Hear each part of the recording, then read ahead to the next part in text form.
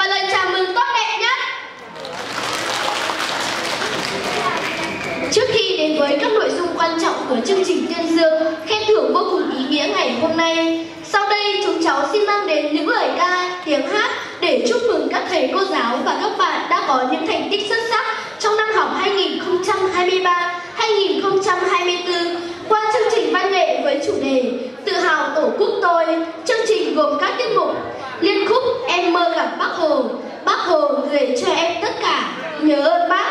múa sắc nùng quê em, liên khúc tiếng ca ngày hè, múa gậy đồng xu, một vọng Việt Nam, liên khúc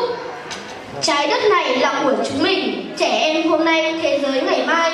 Của các nhạc sĩ Sơn Giao, Hoàng Lân, Hoàng Long, Phan Đình Điểu, Đông Thiên Đức các bạn học sinh trường phổ thông dân tộc nội trú, trung học cơ sở và trung học phổ thông huyện Xí Mần, trường tiểu học Cúc Bài, trường trung học cơ sở Liên Việt phối hợp biểu diễn.